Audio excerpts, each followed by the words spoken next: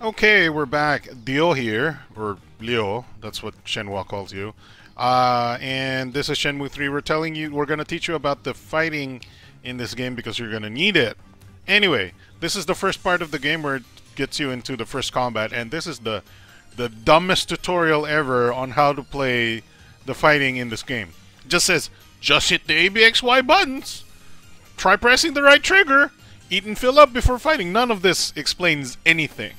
So ABXY buttons are sort of like punches and kicks, but in combination they can do special moves. And then the right trigger does a actually you can you can stock or you can that's like a shortcut for any special move that you assign and then eat and fill up before fighting because that means that's because your health will be a factor in the fighting. So I'm gonna press next. Okay, let me just pause here. No, nope, I can't pause. So lower left corner uh, is my health with all the green circles. Uh, the enemy's health is on the right with all the green circles. And uh, to block, you pre you press on the left trigger or L2. Okay, and you notice that uh, in I'm gonna the tutorial type of thing. Look at the little um, uh, blocking thing on the back, on the lower left corner next to the health bar, underneath the blazing kick text is a guy look an icon that guy of a guy blocking and there's a bar there. Whenever you block anything, you see that there is a bar that recharges. That is your block gauge. And if your block gauge, um, uh, if your block gauge depletes, you will start taking damage. So let's start uh, taking damage by uh, depleting our block gauge. We'll see if he can, you know, keep keep attacking enough.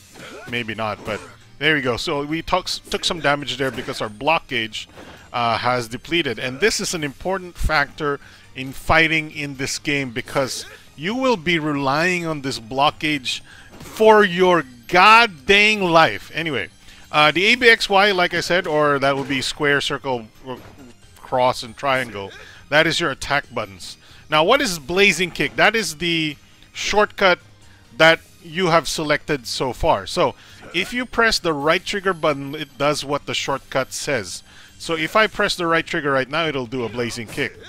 That's that's what that's that. It's a long combo, uh, and then you can press the the uh, the bumpers or R1 L1 to select the the sort of selected um, attack.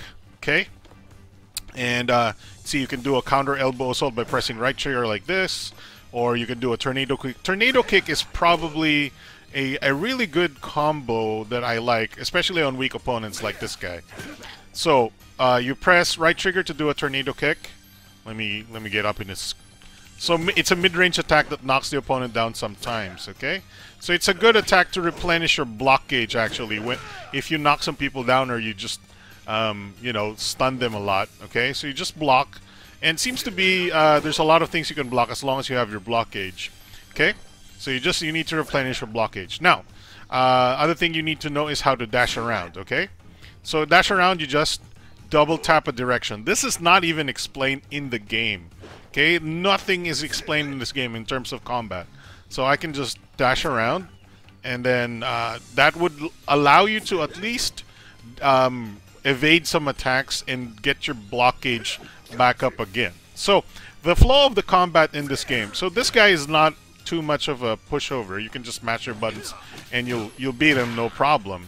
That's a good attack too. I don't know exactly. I think it's punch. Uh, it's I think it's triangle, triangle, triangle, and um, triangle, triangle, triangle, circle, I think? No, that's not it. Anyway, the first intro uh, introductory combat is very, very easy, of course. And you will probably just mash your buttons, but the first actual fight will kick your butt so hard back to Narnia, you'll, you'll probably want to live in Narnia forever. So, uh, that, those are the basics of the combat. Um, I'll show you later how to actually heal in combat uh, in the actual fight against the stupid guy with the scar. So, uh, we'll just beat this guy and then come back in just a bit.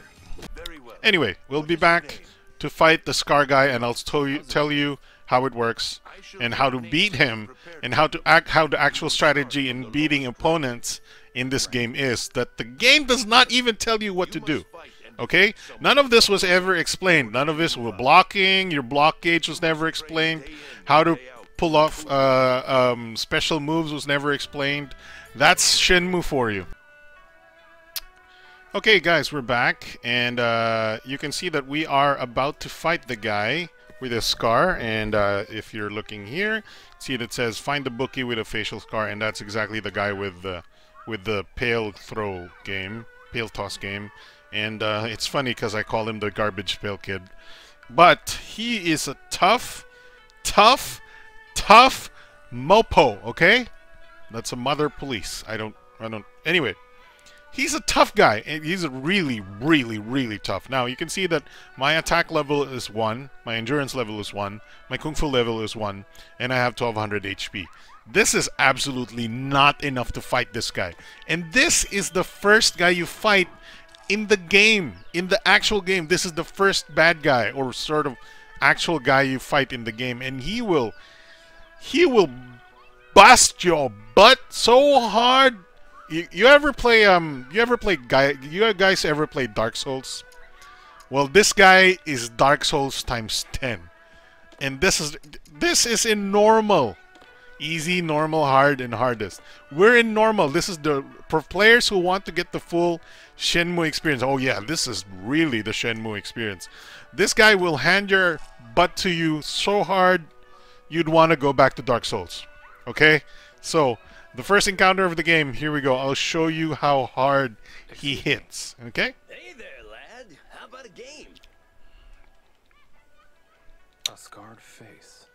This must be the guy. Huh? You say something? There's something I want to ask. So you can't skip any of these these uh You're not here to play? whatever. I'm looking for someone. Also, he's talking about playing Oh, yeah. and throwing stuff. Where can I find him? It's it's funny because I thought this was an introduction to the Pail throw Okay. uh Lately, toss game, As good as I used to be. but he's actually wanting to actually punch each other and and fight you. challenge, huh? Yeah. Beat me. It almost seems like they recorded this audio and then they thought they would have the game introduce you to the Pail Toss game, but maybe later in the development stage they said we need a tutorial fight or a guy that actually tells you to train your butt. Um, so they made it different. They change. They must have changed it later in the development. Um, so look at the advice here. It's basically useless. It says battle commands are all these buttons over here. You activate skill as your right trigger. You change skills by the left bumper and the right bumper, and the um, the block button is the left trigger. Now you use the medicine on the D-pad, and the movement is on the analog sticks, and changing your targets on the right sticks, which is not needed right now because it's a one-on-one. This guy will. This is the first fight in the game. No training done. The guy will absolutely whoop your butt super hard. Okay, and so here's what what a typical person would do is he would just randomly press buttons and think, "Yeah, I'm getting somewhere here." Right? You you you're saying you're telling yourself, "Man, you, I'm doing some de- de- decent combo attacks here. Look at this. Yeah, cool moves. Ryo can do some cool moves. And look at your HP bar. Oh no, your HP bar is basically nothing. I'm going to use the healing item by pressing the D-pad. And nobody, the game doesn't you know, communicate that well. And I'm actually doing a decent... This guy will probably still beat my ass. But I am somehow... Okay, yeah, I'm... Oh, come on, come on. Yes, come on. Yes. Oh no, no. Oh yeah, he beat me. If you if you played it as oh man.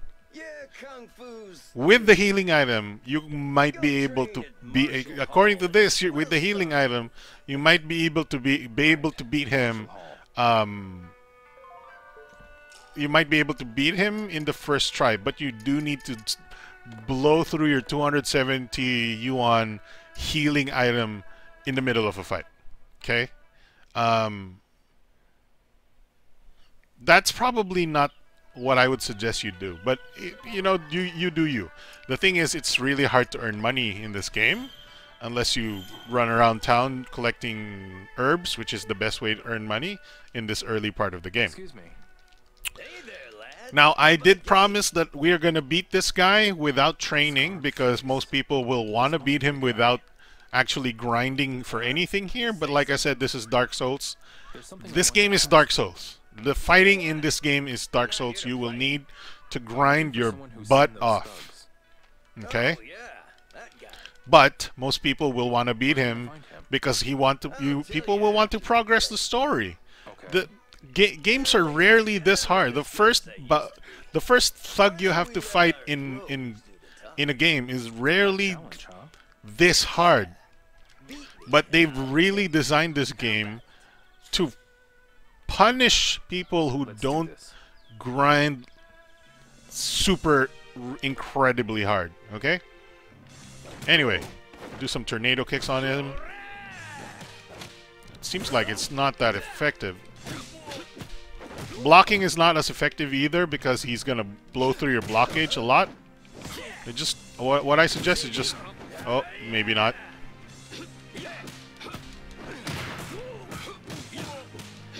You're gonna heal right now. Oh, how did I do that? Is that a triangle, triangle, circled in two? Okay. Okay. Okay, we're getting. And then block. Okay. That's... What I'm doing is triangle, triangle, circle, triangle. And then blocking immediately. Or maybe even just triangle, triangle, circle seems to be okay. Ow, ow.